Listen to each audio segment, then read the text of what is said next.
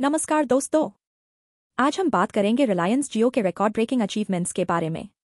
जियो ने China mobile को पीछे छोड़ दिया है और दुनिया का सबसे बड़ा मोबाइल ऑपरेटर बन गया है डेटा ट्रैफ़िक कंसम्पशन में। तो चलिए शुरू करते हैं।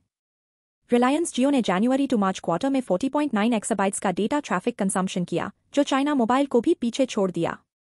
जियो के पास दुनिया भर में दूसरा सबसे बड़ा 5G सब्सक्राइबर बेस है, जिसमें टोटल 108 मिलियन यूज़र्स शामिल है। और इसमें से 28 percent wireless data traffic 5G users की तरफ़ से आता है। जियो अपने परफॉर्मेंस का क्रेडिट जियो भारत फोन्स और अनलिमिटेड 5G प्रमोशनल प्लान्स को पॉपुलर बनाने में देते हैं जो उनके average revenue per user ARPU को प्रभावित करता है। एनालिस्ट्स की अनुमान है कि जियो के लिए जनरल इलेक्शंस के बाद रेवेन्यू कन्वर्शन बढ़ने वाला है खासकर तेज़ी से यूज़र एडिशंस और मार्केट शेयर गेन के कारण। जियो के air fibre fixed wireless home broadband service में 5,900 टाउन्स में तेज़ी से डिमांड बढ़ रही है। जो record high quarterly home connections का रिज़ल्ट है। लेकिन इन सब सफलताओं के बावजूद, जियो के अरपू में कोई तेज़ी नहीं है, जो कि 182 रुपीस पर यूज़र है, जिसमें low value Jio Bharat phone users और प्रमोशनल 5G प्लान शामिल है।